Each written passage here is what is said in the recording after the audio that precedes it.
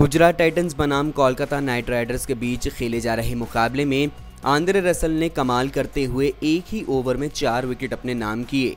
पारी का आखिरी ओवर कराने उतरे आंद्रे रसल ने एक ही ओवर में चार विकेट अपने नाम करते हुए गुजरात टाइटंस को बड़ा स्कोर लगाने से रोका। हालाँकि आज जहाँ आंद्रे रसल ने एक ओवर में चार विकेट लेकर एक कीर्तिमान रचा है तो वहीं रिंकू सिंह नाम के खिलाड़ी ने मैदान में वो किया जो आज से कई साल पहले सचिन तेंदुलकर ने किया था। आपको बता दें कि रिंकू सिंह ने आज एक नहीं, दो नहीं, बल्कि चार कैच अपने नाम किए। मज़ेदार बात यह रही कि उन चार कैचों में से रिंकू सिंह ने तीन कैच एक ही ओवर में पकड़े और वो तीनों ही कैच आंद्रे रसल की गेंदबाजी में आए थे।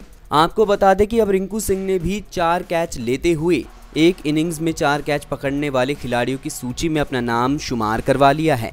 इस सूची में दिग्गजों का नाम है, जहाँ सबसे पहला नाम सचिन तेंदुलकर का आता है तो वहीं इस सूची में सबसे ताज़ा नाम रिंकू सिंह का जुड़ गया है। आपको बता दें कि रिंकू सिंह कोलकाता नाइट राइडर्स के लिए दूसरे ऐसे फील्डर बन गए हैं, जिन्होंने एक ही पारी में चार कैच अपने नाम किए हैं। उनसे पहले जाक कैलिस ये कारनामा कर चुके हैं। बाकी की तमाम खबरों के लिए बने रहिए वन इंडिया के साथ।